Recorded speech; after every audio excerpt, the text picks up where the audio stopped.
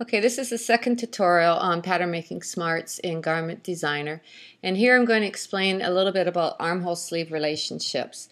After watching hundreds of students working with pattern making on the computer and presuming the computer should know everything, I soon learned that it would be wise on our part to put pattern making smarts with regards to armholes and sleeves as a built-in function of the software.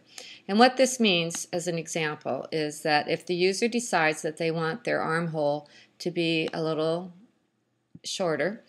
I'm going to nudge it up with my arrow keys, but as I'm doing that, if you look at the sleeve, you can see that the sleeve is updating. This is the most difficult part of pattern making. It's easy to build an armhole, but then to have to recalculate the sleeve is where a lot of people get lost. So we take care of that automatically for you. Let's say also that I want to widen this garment. Notice how I'm selecting the side seam and the lower armhole point because that's a critical part. I'm just going to nudge over. And again, as I'm nudging with the arrow keys, and of course I could drag, but I'm nudging, my sleeve will update. Just as a little lesson on the armhole, our armholes are composed of three components. We have a straight section that goes to the upper chest area. That's the narrowest part of your armhole. Then there's a curved section, and then we have our straight section here at the end.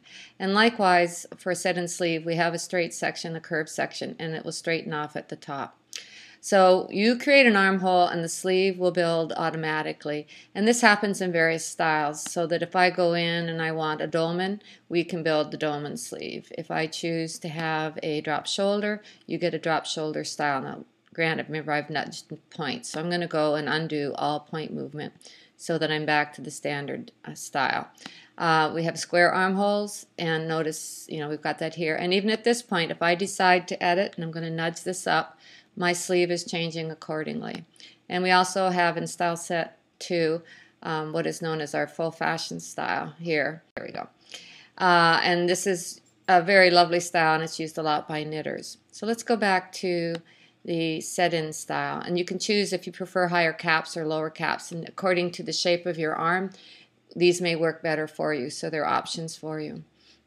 So again I'm going to undo all point movement just so that I'm back to the original style here.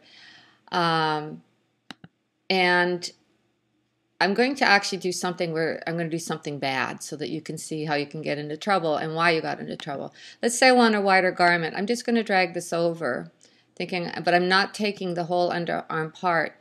And now you're getting warning that the two underarm points need to be treated as a unit.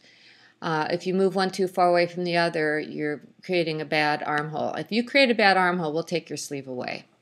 And the only way to get the sleeve back is to correct the armhole. So if I decide to drag this in, and I'm dragging it back, I'm trying to get these two points closer. It's still not happy, and that's okay. I'm going to keep nudging. So uh, I'll, I'll turn this off for the moment so that we don't have to keep looking at it every time we nudge. But I'll keep nudging this back and see eventually I get my sleeve. But as you can see, I'm getting to a better armhole. The better way of widening a garment is to take the, both underarm points and the side seam and widen it. Know that if the sleeve disappears, you've done something that's not good as far as pattern making is concerned. We'll hide the sleeve, and when you correct your problem, we'll give you the sleeve back to work. Let me point out that if you want to um, alter the sleeve, it's not going to impact your armhole. So for example, let's say that I want to make a uh, puffed sleeve. I've already got the higher cap, but I could just simply grab these points on the sleeve and I'm going to widen the sleeve. I'm nudging with my arrow keys.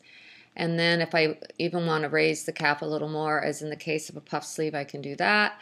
And then I can also click on the curves and pull this out so I'm building um, a puff sleeve that will sew in, but my armhole is not adjusted.